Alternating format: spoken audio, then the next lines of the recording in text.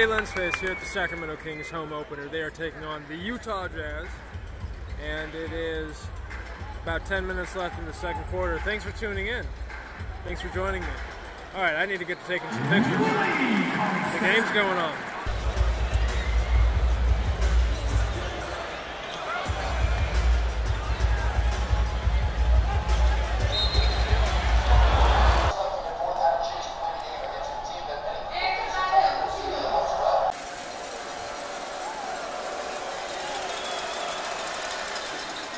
Nemanja Bjelica in for the Kings for Buddy.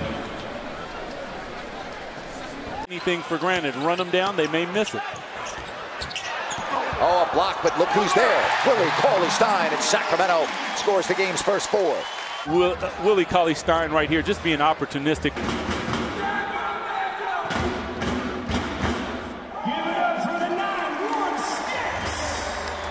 Stories by James Ham. My team's app is awesome. It is awesome.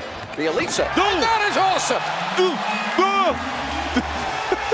And I'm sure you'll see a highlight of that. Guys, how about this?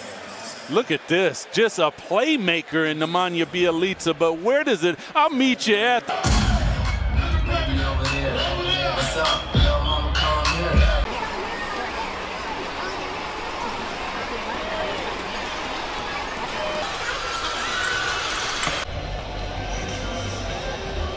Ever got a free concert in the plaza? Back up.